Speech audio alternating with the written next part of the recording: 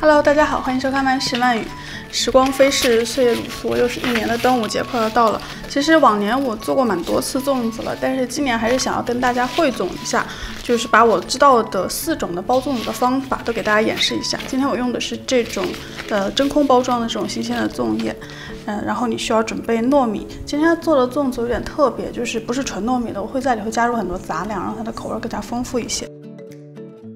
首先你需要把杂粮都泡一下。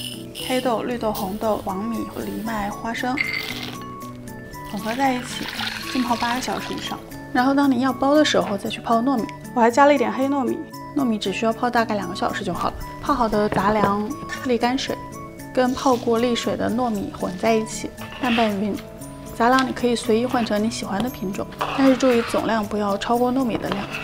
接着其他的配菜，然后还有蜜枣、豆沙、咸蛋黄，然后五花肉腌制一下，加姜泥、腐乳，加生抽、老抽、料酒，还有糖，把它抓抓匀。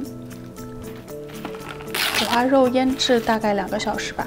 栗子切块，这个栗子是之前做糖渍栗子剩下的，还记得吗？我把它冷冻起来放冰箱了，所以有点黑黑的，但是不影响。下面我们来包粽子了。首先第一个包法，也就是最经典的三角粽。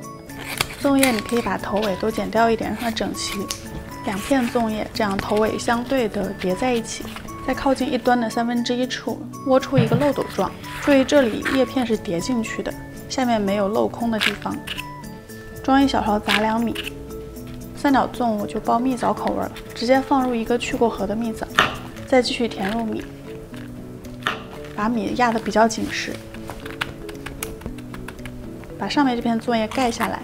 折叠的部分两个角都要折进去，防止它漏米。盖下来的部分沿着粽子的形状捏紧，然后一手捏紧粽子，另一个手拿棉绳去缠它，就在它拦腰的地方缠几圈，最后打个结就好了。这是最经典也最简单的一种包粽子的方法。之前我每个口味的粽子都用这个方法包过。包的时候注意每个角都封死，不要让它漏米就行了。接着下面第二种包法。这时候取一片粽叶就好了，在它大概中心的地方，把它卷成一个漏斗状。注意折好之后，叶柄是在上面的，叶尖在下面。然后你把叶尖绕着它的形状绕紧，然后整理一下形状，让下面这个尖角不会漏。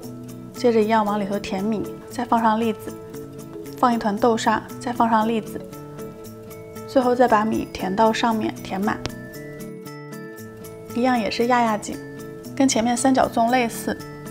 上面的叶片折下来，完全的盖住下面，然后包紧，在这个折叠的地方用棉绳缠紧就好了。这样包出来就是一个很小巧的圆锥形的粽子，这个形状很适合包甜味儿的粽子。好了，现在接下来就包一个四角的肉粽，一样你需要两个叶片叠在一起，跟前面三角粽不一样的是，它要从中心往前折叠一下，然后把侧边折起来，这样打开之后你就能得到一个长形的漏斗状。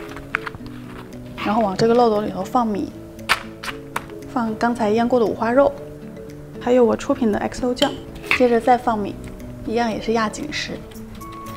后面接下来就跟前面三角粽子类似了，把上片这样盖下来，然后捏紧之后绕起来，这样包出来的粽子跟三角粽长得挺像的，但是它的手法是不太一样，体积也更大一些。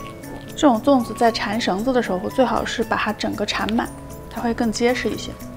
好啦，最后一种就是宝塔型的粽子了。这个也是之前做肉粽的时候给大家演示过的。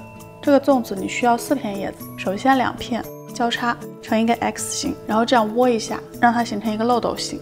然后在这尖尖里头放米，放腌过的五花肉，再放一个咸蛋黄，然后继续填米，压平，然后把两边都窝起来。这时候不需要特别精确，大概的折一下就好了。接着拿一片新的粽叶。包住它的侧边，把两头往中间折叠，然后换个手，另一边也是取一片新的粽叶，包住侧边，两边往中间折叠，这样它就会形成一个类似金字塔的形状。这样的粽子你需要在它的两头都各缠上几圈，在底部打一个结，就能把它牢牢的固定住了。这种包法粽子的体积最大，你也可以包入最多的馅料。通常那种馅料超级丰富的肉粽都会用这种包法。现在粽子都包好了，两个甜味儿和两个咸味儿的都分别放在一起煮。因为粽子会飘起来，你可以在上面压一个小盘子，把它压下去，盖上锅盖，转小火煮，大概一个半到两个小时吧。因为杂粮会比较难煮一些，你需要的时间要久一点，或者用高压锅也可以，这样煮熟就好了。甜粽子可以淋上蜂蜜啊，或者蘸糖吃；咸粽子你就可以直接吃了。现在基本上市面上流行的粽子的包法就是这四种了。看完这一集之后，大家应该都明白了吧？包粽子没有什么难的，就是需要稍微练习一下，你就会越包越好了。然后欢迎大家在下面的评论里头告诉我你最喜欢吃什么馅儿的粽子。好了，今天的四种粽子都做好了。今天这个四种包法你们都看明白了吗？然后四种口味，不知道你们喜欢哪一种？我自己当然是最喜欢我做的这个 XO 酱口味的了，因为我觉得 XO 酱包在粽子里头和那个肉非常的搭，而且因为粽子里会有很多杂粮，所以吃起来也不会很腻，是一个非常健康又很好吃的粽子。那么希望你们喜欢今天的节目了，祝大家端午小长假过得愉快了，拜拜。